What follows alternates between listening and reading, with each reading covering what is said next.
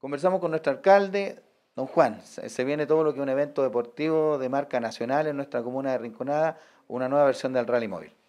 Bueno, efectivamente se han hecho gestiones, ¿no es cierto? Se hicieron gestiones con los organizadores, como el encargado general de esto y, organizadores, Scud Horta, ¿no es cierto?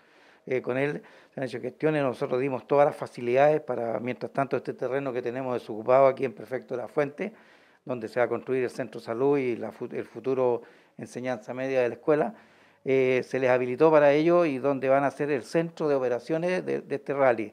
El día viernes a las 5 de la tarde van a partir las actividades en este centro de operaciones, donde se van a conocer los equipos participantes, donde son la presentación.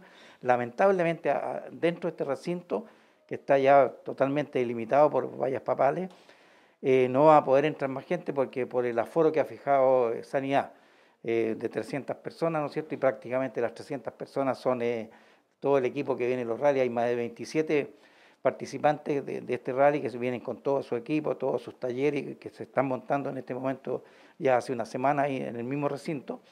Y lo que sí que vamos, vamos a tener habilitado la, la, mitad de la calle Perfecto de la Fuente nomás, la otra mitad va a estar para la salida ya posterior el día sábado cuando comience esto, de aquí van a salir los vehículos sin competir por supuesto, a los sectores donde compiten. Van a competir ellos en, la comuna de Calle Larga, en el sector eh, Camino a la Canoa, en Pocuro adentro, ¿no es cierto? Y en otro previo que prestó eh, la familia Luxi, también en el mismo sector, ahí van a hacer las competencias. Pero el centro de operaciones va a estar en Rinconada y las premiaciones y todo se van a hacer en Rinconada.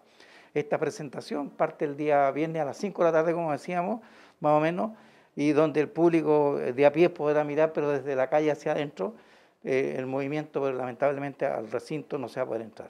Bueno, son eh, condiciones bastante rígidas, duras, estamos hablando plena pandemia, hay que eh, armarse un poco de paciencia y entender las circunstancias del evento. Sí, claro, pero yo creo que todo el público rinconadino y el que venga de afuera también va a tener la oportunidad de ver los vehículos ya el día sábado empiezan a salir por nuestra carretera, ¿no es cierto?, en dirección a Calle Larga, así que esa parte va a ser, vamos, pueden estar a cualquier orilla de la carretera viendo este tema y también aquí en Perfecto de la Fuente también, por eso queremos cortar la mitad del tráfico para dar facilidades por si llega público a mirar desde afuera también.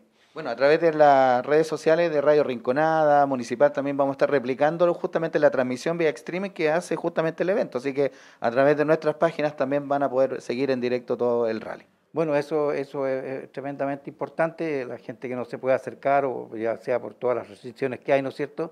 Pero va a poderlo ver a través del medio que tú dices de nuestra radio Rinconada y que, en, el futuro, ¿no es cierto?, queremos ir potenciando esta radio, que se mejoren todos sus sistemas de transmisiones a través de streaming, a través de, Facebook, ¿no es cierto?, y etcétera, eh, poder que la gente tenga acceso muy expedito a, nuestro principal medio de comunicación de Rinconada. Y, y de hecho, la radio Rinconada va a participar eh, activamente en este, en este evento rally.